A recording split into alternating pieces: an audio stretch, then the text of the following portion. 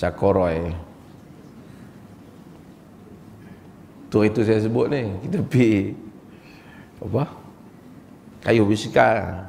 Jumpa kawan yang tu. Nak bagi zakat ni miskin. Eh, miskin.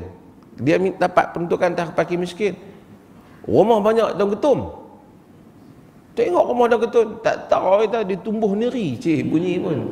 Kemas. Eh. Yang tumbuh neri pun siap dengan ada pipe ni. Pipe ayam kat belakang. Dengan pipe-pipe sekali tumbuh sendiri. Hmm. Subuk elok lah. Mari saya kata gitu juga kat, kat orang ambil zakat. Kita kalau jumpa satu orang kata kat kita, saya ni miskin lah, tolonglah, nak makan pun tak ada.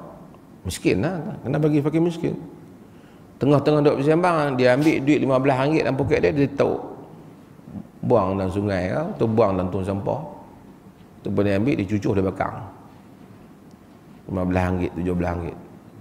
Kita kata, eh, kata miskin tadi. Ajar yang ni bakang RM15, RM17 tak mau. Bagi kat saya, saya nak beli beras tak ada duit. Eh, kita tak bagi, tengok dia. Duit hang hampir bakar, hang minta duit kita beli beras. Orang isap rokok macam tu kan. Oh, nak kata abi, hang tu nak kata.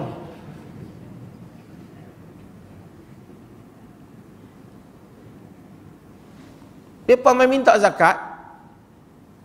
Nak beli beras, beras RM12, kotak rokok RM17.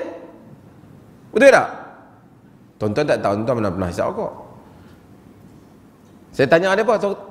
tujuh belas ringgit siap tunjuk lagi apa rengkung tercabut lah jantung terkeluar lah dia beli boleh. Tu yang kata manusia ni terang-terang kotak tu tunjuk bahaya. Dia hisap juga. Bukan dia tak tahu kata bahaya kok. Bahaya tu tak nampak dia tunjuk. Tapi pasal dia hisap. Tahu saja tak cukup. Betul tak?